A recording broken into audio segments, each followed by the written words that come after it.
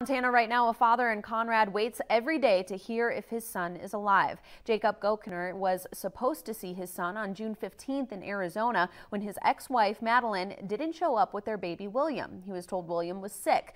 Another missed visit goes by and that's when Jacob got a call every parent dreads.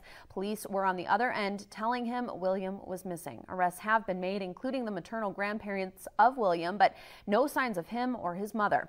Our Melinda Zosh sat down with Jacob this afternoon in Conrad. And Mel, what did he have to say about this tough time that he's going through?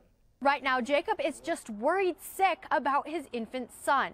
He tells me that baby William's whereabouts and well-being are still unknown, but he's confident that his infant son will be returned back to him. And arrests have been made. Roland and Cassie Jones, William's maternal grandparents, were arrested late yesterday and appeared before a judge this morning. They face charges of custodial interference and making false reports to police. The two are not to be in contact with one another, and Roland's bail amount was set at $50,000.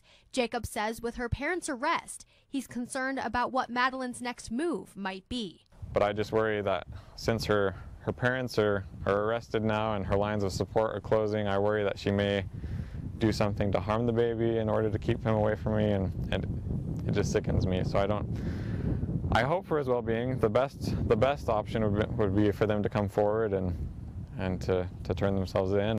Cassie and Roland Jones will be arraigned next Thursday. Meanwhile, a court in Arizona has granted Jacob full custody of William, and he's doing everything in his power to find his son. Recently, Jacob attended a vigil for baby William in Arizona, and there's a $5,000 reward for any information that will bring baby William back home to Montana.